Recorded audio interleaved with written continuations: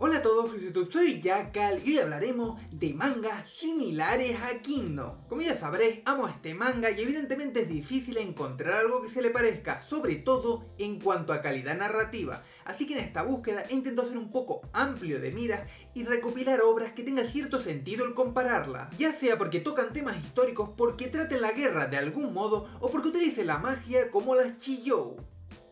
Ups, eso último no.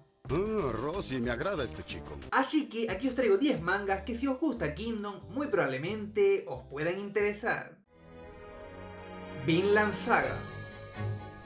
Empecemos primero con la recomendación típica, un manga ultra famoso. Y es que si buscáis en internet un manga similar a Kingdom, encontraréis 400 comentarios, páginas y artículos recomendando Vinland Saga. Y normal, puesto que si hablamos de historia, guerra y muerte, no podía faltar en la ecuación. El arte de Yukimura no es un 10, sino lo siguiente, y la historia es como mínimo igual de buena. Es uno de mis mangas favoritos y uno de los mejores seinen que he visto, así que si os gustan los vikingos, aquí tenéis un manga sobresaliente, con uno de los personajes mejor desarrollados de la historia.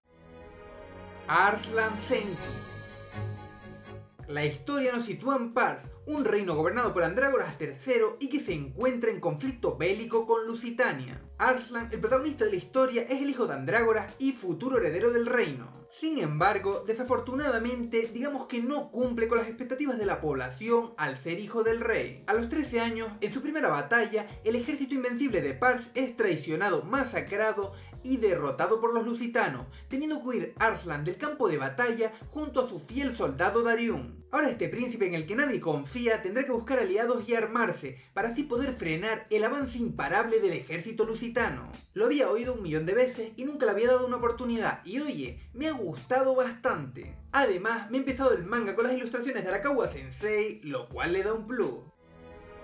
Akatsuki no Yona y pese a que consumo mayoritariamente Seinen y Shunen, a veces también toco otras demografías, así que aquí viene un shoyo de renombre, Akatsuki no Yona. Yona, una chica de 15 años, es la hija del emperador Gil y tiene el pelo tan rojo como el amanecer. Está completamente enamorada de su primo Sunwo, el sobrino del emperador, y quiere casarse con él. No obstante, un giro drástico sucede en los acontecimientos y Yona, al ir a ver a su padre, encuentra cómo Sun Wo acaba con su vida y pasa a ser el nuevo emperador. Al darse cuenta, Sun Wo y sus secuaces intentan acabar con la vida de esta, siendo salvada por su fiel sirviente Hawk, junto al cual logra escapar del castillo. Ahora Yona, guiándose por una antigua leyenda, emprenderá un duro camino con el fin de salvar a su reino. En realidad, si guardamos las distancias, el argumento es muy similar al de Arslan Senki. He oído cosas muy buenas del manga y me he leído los primeros capítulos y la verdad que me han entretenido, así que muy probablemente la continúe en un futuro.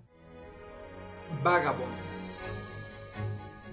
archiconocida obra de Takehiko Inoue y la adaptación al manga de uno de los clásicos de la literatura japonesa, Musashi. Nos cuenta la historia de Musashi Miyamoto, una de las figuras históricas más conocidas de Japón y para muchos el mayor espadachín de la historia. Sé que el parecido con Kingdom es medio difuso, pero dado que es un manga en cierta manera histórico y realista y que los combates suceden con espada, creo que a muchos de vosotros os podría gustar. Respecto a mí, es un poco vergonzoso que os lo recomiende puesto que en su momento lo dropeé, aunque he de decir a mi favor que no fue porque no me gustara, sino por otras circunstancias. ¿Quién sabe? Ahí sí no te puedo decir nada. Está en la lista de pendientes. Isaac. Una de las grandes sorpresas que me he llevado al hacer este vídeo, puesto que es buenarda. El manga nos sitúa en plena guerra de los 30 años. ¿Qué os pregunto? ¿Cuánto duró la guerra de los 30 años? Si lo sabes, déjalo abajo. En fin, nos encontramos en plena guerra de los 30 años, donde un conflicto inicialmente religioso acaba convirtiéndose en una lucha de poder entre muchos países. En este contexto, era común que los estados en guerra contrataran a mercenarios para así poder hacer frente a los ejércitos enemigos. Y aquí es donde entra nuestro protagonista, Isaac, siendo uno de estos un japonés que se unió a la guerra no por dinero, sino anhelando vengar a su difunto maestro. El dibujo no es demasiado bueno si lo comparamos con el resto de mangas que aparecen en el vídeo, pero tiene algunos paneles que son God. No obstante, sí me ha hecho sumamente entretenida. Además, parece ser que el protagonista no es tanto de espada como estamos tan acostumbrados a ver en este tipo de manga, sino que es fusilero, lo cual le da puntos extra por originalidad. Ravages of Time me lo habéis recomendado muchas veces y aquí está, Ravages of Time. Manga con H centrado en el periodo de los Tres Reinos, periodo de hechos históricos, de lealtad y sobre todo, de traición. Y es que me han bastado simplemente los primeros capítulos para encontrar grandes similitudes con las disputas de poder que hay en la corte de Kingdom. Traiciones entre clanes, enfrentamientos burocráticos el emperador es un títere, la verdad que tiene muy buena pinta. Aunque eso sí, los primeros capítulos no os vais a enterar de nada, y cuando digo nada, es nada, porque la cantidad de nombres en chino que nos sueltan está guapa, guapa, guapa. Adastra Escipio tu Aníbal. Y aquí os presento otra de las grandes sorpresas de la lista. Y os soy completamente franco, artísticamente es un manga del montón, mediocre. Pero what the fuck, ¿qué son esos primeros capítulos? El manga nos cuenta la vida de dos grandes comandantes militares de la historia. El romano, conocido como Escipión el Africano, y el cartaginés Aníbal Barca. Estrategia militar, guerra, muerte. El enfrentamiento entre estos dos genios de la guerra será intenso y marcará una era. Me leí el inicio del manga para hacer este vídeo y me he quedado con ganas de leer mucho más. Diría que es el mayor descubrimiento del vídeo y un manga ultra desconocido, así que ya sabéis, muy recomendado.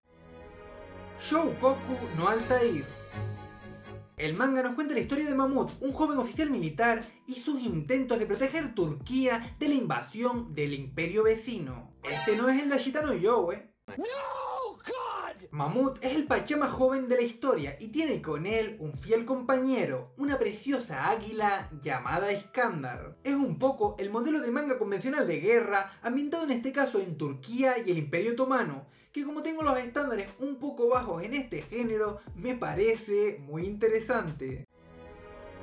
Waga Naguanero os presento el manga más raro de todo el vídeo, Waganaguanero. La historia nos cuenta la vida de Nerón Claudio César Augusto Germánica, emperador del Imperio Romano. Dibujo malardo, la verdad, pochérrimo, pero según he visto, la vida de este emperador es sumamente interesante, puesto que se asocia a dos palabras, tiranía y extravagancia. Esto unido al hecho de que solamente tiene 15 capítulos, lo convierte en una lectura bastante entretenida. Boko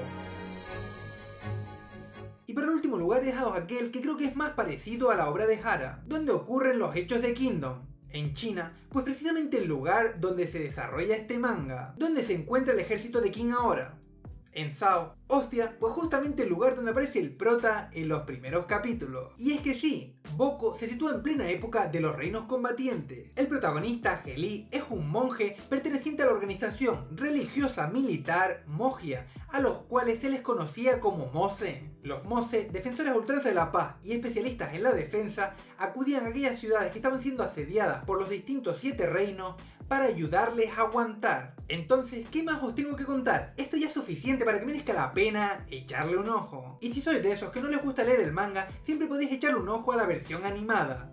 Boco no Pico.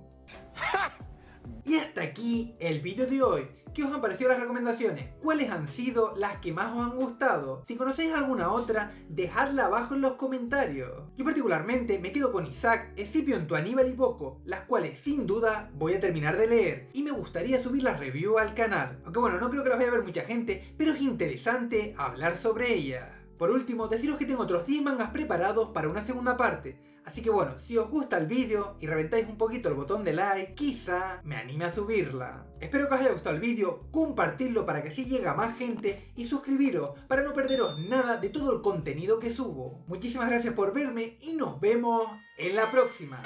Bye.